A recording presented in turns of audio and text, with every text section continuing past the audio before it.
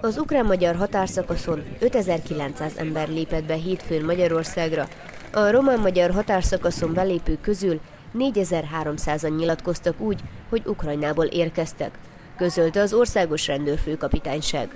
A beléptetettek közül a rendőrség több mint 500 embernek állított ki ideiglenes tartózkodásra jogosító igazolást, amely 30 napig érvényes. Nekik fel kell keresni az Országos Idegenrendészeti Főigazgatóság tartózkodási helyük szerinti illetékes hivatalát a végleges okmányok beszerzéséért. Vonattal 165 ukrán menekült, köztük 78 gyerek érkezett Budapestre. A rendőrök folyamatosan tartják a kapcsolatot a katasztrófavédelemmel, az idegenrendészettel, az államvasutakkal, valamint a segélyszervezetek munkatársaival.